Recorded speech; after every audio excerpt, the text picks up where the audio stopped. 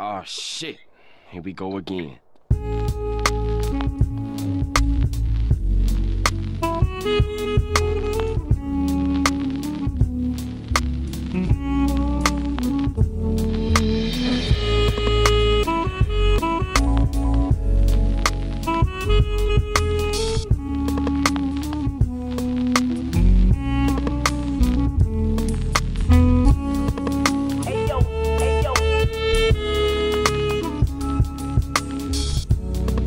Thank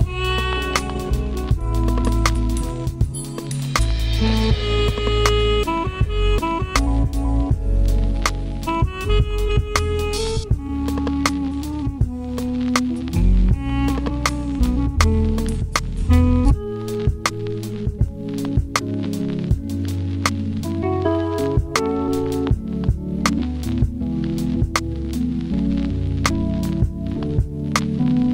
Beautiful women are like powerful magnets.